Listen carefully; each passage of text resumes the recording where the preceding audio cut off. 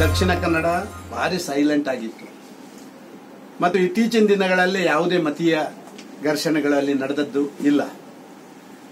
ಮೊನ್ನೆ ಮೊನ್ನೆವರೆಗೆ ಅಸ್ಸಾಂನಲ್ಲಿ ಕೂಡ ಒಂದು ರೀತಿಯ ತಂಪು ಸಂದೇಶದಿಂದ ಅಸ್ಸಾಂನಲ್ಲಿ ಆಗಿದೆ. ಯಾಕೆಂತ ಹೇಳಿದ್ರೆ ಅಸ್ಸಾಂನಲ್ಲಿ ಇವತ್ತು ಈ ರೀತಿಯ ಗಲಾಟೆ ಆಗಲಿಕ್ಕೆ ಕಾರಣ ಈ ಕಾಂಗ್ರೆಸ್ಸಿಗರು ಒಂದು ವಿಶೇಷವಾದಂತ ಒಂದು ಪ್ರಚಾರ ಮಾಡಿದ್ರು. ಮಮತಾ ಬ್ಯಾನರ್ಜಿ ಒಂದು ವಿಶೇಷ ಪ್ರಚಾರ ಮಾಡಿದ್ರು. ಏನು ಅಂತ ಹೇಳಿದ್ರೆ ಎರಡು ಕೋಟಿಯಷ್ಟು ಜನ ಬಾಂಗ್ಲಾದೇಶದಿಂದ ಅಸ್ಸಾಮಿನೊಳಗೆ ಪ್ರವೇಶ ಮಾಡ್ತಾರೆ. ನೀವು ಯಾರೆಲ್ಲ ಇದ್ದೀರಾ, ನೀವೆಲ್ಲ ಮೈನಾರಿಟಿ ಆಗ್ತೀರಿ. ಆ ಬಂದವರು ನಿಮ್ಮ ಮೇಲೆ ಸವಾರಿ ಮಾಡುವಂತ ಕೆಲಸ ಆಗ್ತದೆ ಅಂತ ಹೇಳುವಂತ ರೀತಿಯಿಂದ ಅಸ್ಸಾಂನಲ್ಲಿ ಕೂಡ ಈ ಗಲಾಟೆ ಪ್ರಾರಂಭ ಆಯ್ತು. ಅಂತದ್ದು ಆಗ್ಲಿಕ್ಕೆ ಸಾಧ್ಯವೇ ಇಲ್ಲ. ಈವನ್ ನಿಮ್ಮ ಎನ್ ಆರ್ ಸಿಯಲ್ಲಿ ಸುಮಾರು ಹತ್ತೊಂಬತ್ತು ಲಕ್ಷ ಹೊರಗುಳಿದವರಿಗೆ ಕೂಡ ಮತ್ತೆ ಮರುಪರಿಶೀಲನೆ ಮಾಡುವಂತದ್ದು ಕೇಂದ್ರ ಮಾಡ್ತದೆ. ಇದೆಲ್ಲ ಆದಾಗ ಕೂಡ ದಕ್ಷಿಣ ಕನ್ನಡ ಸೈಲೆಂಟ್ ಆಗಿತ್ತು, ಏನಿರಲಿಲ್ಲ. ಯಾವಾಗ ಕಾದರು ಬಾರಿ ನೇರವಾಗಿ ಉತ್ತರ ಈಶಾನ್ಯ ರಾಜ್ಯಗಳಲ್ಲಿ ಆದ ರೀತಿಯಲ್ಲಿ.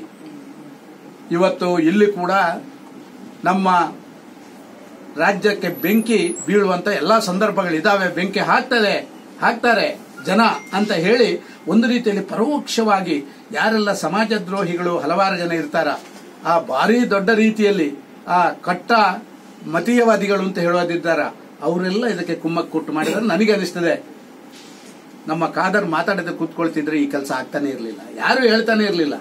ಎಲ್ಲ ಒಂದು ಮಾಜಿ ಮಂತ್ರಿ, ಒಬ್ಬ ಶಾಸಕ ದಕ್ಷಿಣ ಕನ್ನಡದಲ್ಲಿ ಕಾಂಗ್ರೆಸ್ನ ವತಿಯಿಂದ ಇರುವವರು, ತನ್ನ ಅಸ್ತಿತ್ವಕ್ಕೋಸ್ಕರ ಈ ಕೆಲಸ ಕಾರ್ಯಗಳನ್ನ, ಪ್ರಚೋದನಕಾರಿ ಕೆಲಸ ಮಾಡಿದ್ದಾರೆ ಅಂತ ನನಗೆ ಅನಿಸ್ತಾ ಇದೆ.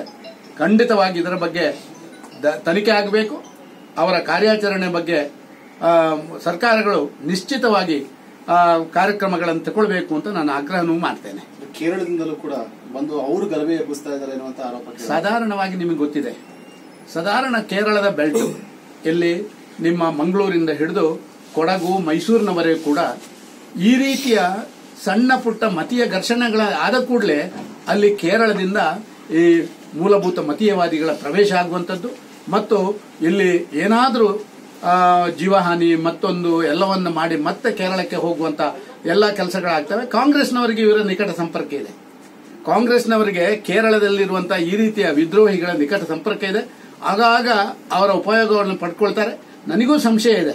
ನನಗೂ ಸಂಶಯ ಇದೆ. ಖಂಡಿತವಾಗಿಯೂ ಇದು ಕೇವಲ ಕರ್ನಾಟಕದ ಭಾಗದಲ್ಲಿ, ದಕ್ಷಿಣ ಕನ್ನಡದ ಭಾಗದಲ್ಲಿ ಇರುವಂತವರಿಂದ ಆದದ್ದಲ್ಲ. ಯಾರೋ ಬೇರೆಯವರು ಕೂಡ ಬಂದ ಕಾರಣ ಈ ರೀತಿಯ ಭಾರಿ ದೊಡ್ಡ ಗಲಾಟೆ ಆಗ್ಲಿಕ್ಕೆ ಕಾರಣ